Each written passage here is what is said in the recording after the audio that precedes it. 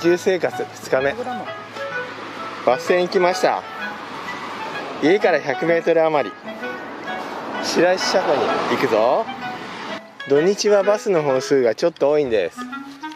7時31分。これに乗ります。ここからバスに乗ってここで降ります。笠山峠笠山を経て和紙の里まで歩く工程です。バスが来た。これに乗ります。どっち、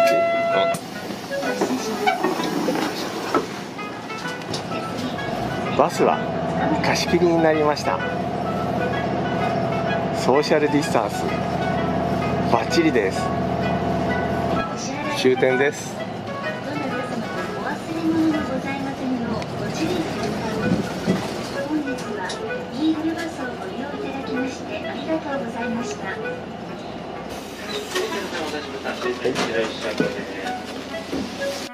はいどうも。ここから山アップを仕掛けます。笠山を通って和紙の里に帰ります。やっぱりそうなんだよ。こここっから一般道になるんだよ。ほら。ね。観光トイレあるよ。トイレ行っとく？あそこだよ。七重峠を経て行きます。桜が綺麗。ふうさん元気？はい。体調はどうですか？はい。今日は重いものはみんな背負っているノボです。ふうさんが私も持つねって言ったけどいいよいいよって言って全部背負ってみました。ありがとうございます。グレゴリーの34はノボが背負ってます。綺麗綺麗。こっちだぞ。ただいまの時刻。7時53分。あの奥のあれも綺麗だね、ね、赤っぽくてね。あそこがさキャンプ場のバンガローなのかな。ああそうっぽいね。いつも自転車で来た時はこっちに来ないからさ。そうそう。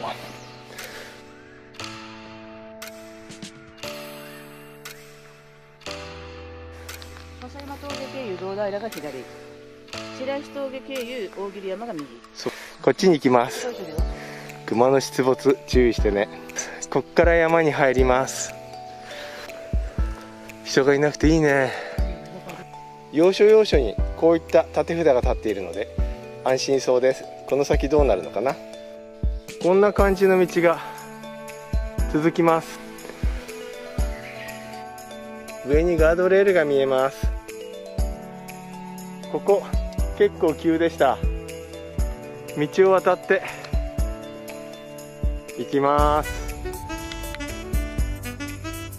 虹色カルテの人みたいな頭になっちゃった風さんです4時10分前で止まってる謎の落とし物何気に急斜面またガードレールが見えてきました狭山 D1 こっちへ行きますあそこから左に行くんだと思います動き方が見えるかなお綺麗だねここ。男ギアだね。ちょっと道が難しいです。車の道で笠山峠に行きます。さっきのところはあっち。こっちからちょっと回っていきます。正解は向こうから来て。あっちの方に行くんです。こっちが笠山です。車は通行止めになっています。この道でしばらく行くみたいです。行ってみます。幅が広くていい場所に出てきました。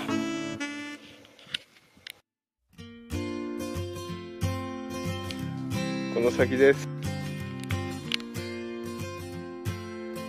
綺麗です。かわいい。葉っぱも綺麗です。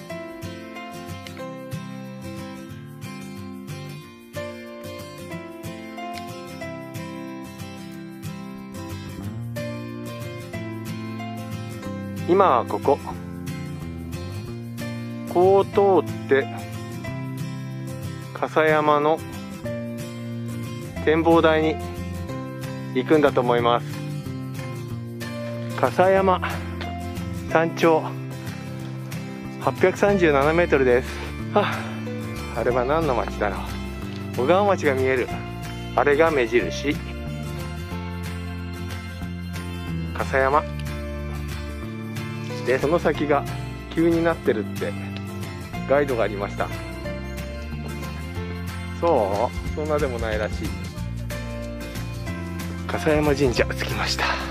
景色がいいです。ここの方が景色がいいかな？あの辺から来たかも。見えないね。虎山は見えないねお賽銭しなくちゃお賽銭のやり方がわからないけど。お金投げちゃおう。あお金がいっぱい転がってる。うん。お金。はい。見えないけど。コロリンチョ川越キャリノボです。悪病隊さん。あ悪病隊さん。お願いします。ここでちょっと補給します道をちょっと引き返して右の方の下に降りていきます。笠山神社から戻ってきました。萩平の方に向かいます。堂平へ向かうご夫婦です。YouTube 乗ります。ね素敵な奥さんね。よし私たちはこっち。こっちでしょ？萩平に行くんだもんね素敵な奥さんだったね。かわいらしい萩平に降りる道。青空が見えてきました。ちょっとかわいい。片栗ちゃんが生えてます。何気に急な下り坂が続きます。降りてきたら車道に当たりました。林道です。あっちから来てやや直角に曲がってこっちにまだ行きます。ね案外林道があんだなと思った。うん看板あるな。こっちから降りるみたいです。皆谷バス停って書いてある。こっちから降りてきました。このこの道をまだこっちに行くみたいです。カランカラン行ってる。今日のお昼は素晴らしい景色の東屋で。山飯食べます。小西の田舎ご飯。やってみるよ。開けてみて。初めて食べるよね。うん。おスプーンが入ってるスプーンが入ってる。こんな感じのもんで。すスプーンを出してうん。袋から取り出してください。入ってない？吸水栓は反対側にあります。反対があるねあ脱酸ここ。脱酸素剤出した。お湯入れてください。どれぐらいかな？うんいいんじゃない。お湯入った。熱湯でうん。15分？熱湯で15分？水だと15分？水15度で60分だって。お。15分待つんだ。15分待ちますできるまでジュース飲んで待ちます。はいはい。野菜生活。花も綺麗。すごいだよここ。ね。ここすごいな。あっち向いてるけど綺麗。今日はさっきのやつとゆで卵とウインナー。15分もかかるとは知りませんでしたできるまでこれでつなぎます。この場所はいいねってふーさんが気に入っちゃいました。移住したい気持ちもわかるねって言ってます。カイヤっていう場所です。ゆで卵。321はい。開けてみます。はい。ちょっとシャリシャリしてるからね。ちょっとシャリシャリしてるとこあるだから大丈夫大丈夫。食べるね。うん、食べてみてちょっと硬いところもあるやっぱり。まあまあってとまあまあの出ですちょっと早かったかな。やっぱねあのポットの上だからうん。ちょっと早かったのかもしれない。食べてみる。もうちょっとお湯入れればよかったと思います。でもあったかいのが食べられていいかな。まあまあね。以上山飯でした。デザートは昨日買った生クリーム大福。ふーさんチョコうんじゃあコーヒー食べてみる。あコーヒあいい感じいい感じ。ーおいじゃあ飲もういちごいちご生クリーム。おいい感じいい感じ。きれいきれいうんう餅が美味しい。ん。うんすんげえ滑らか。上手に解凍できた。優しい甘さで美味しいです。こっちに行くとバス停です。笠山堂平さんって書いてある。風船見立て桃の花。とっても可愛いです。うん。なんか独特の匂いがする。幹が桜じゃないな。なんだろすごいいい香りだね。うこれも果樹です。ちなみにここは県外です。八重のしだれ桜。綺麗です。あっちから来て海屋の方の東屋でお昼を食べてこっちにおります。ね綺麗だね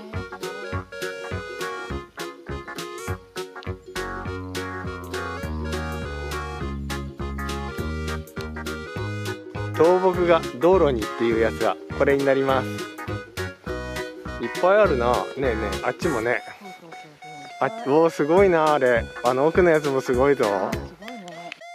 もう少しでゴールです。和紙の里。到着です。上から見るのもなかなかいいな。ちっちゃい子が走ってる最後は変わった色のツツジでおしまい。頑張って登った。笠山でした。今日のゴール地点道の駅和紙の里か。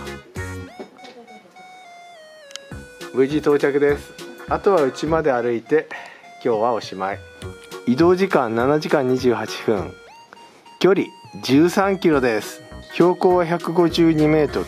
200メートルから上がっスタートして最高地点は800を超えています。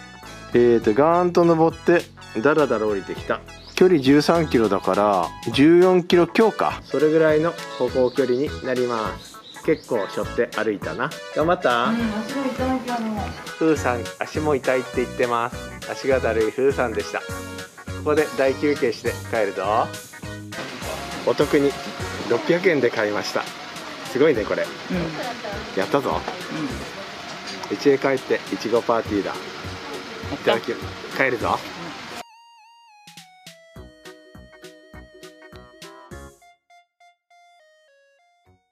終了するよ。はい。はい。いいですか？OK お疲れさん。距離14.7キロ。3361カロリーえー、6人とすれ違って言ってるぞ。すれ違ったって言ってるぞ。お疲れさんです。はい。あ疲れたぜ。靴も脱げないぜ。おいい靴だね。あ疲れ 疲れちゃった。ふーさんです。お風呂お風呂。今夜はインドカリー地元のしいたけのせ。道の駅で買った肉じゃがコロッケ東村女性部の製品です。飲むべ飲むべ外ではお家へ帰ろうが鳴っています。6時なんて遅いよね。ちょっとね。ね。疲れたね。はい乾杯。乾杯。あ疲れた。今日も頑張ったな。うん。約15キロだもんね。うん。うまし。山の15キロはすごいよ。今日のメニュー紹介お願いします。中村屋のチキンカレーバとターチキンカレーって書いてあった。バターチキンカレー？はい。と骨付きゆで卵と、はい。昨日買った東秩父産のあこれだな？うん。しいたけしいたけとこれは道の駅東東の里。の里で買ったうん。女性部の肉じゃがコロッケ。楽しみです。ではい。でノバがつけてくれてるきゅうりの漬物とぬか漬け？はい。きゅうりとはい。大根。はい。こちらはフレッシュのセロリ。いです以上。いただきます、ただきます。おすごいのが出てきた。このお店はすごいフルーツが出るね。これは何？これがよしみさんのいちご。おおお得に買えたので。お。一つだけ取れた。タラの芽です。これは今日軽く炙って塩を振ってふーさんと食べます。こんな感じでフライパンで炙ってみました。どうかな？春の味。春の味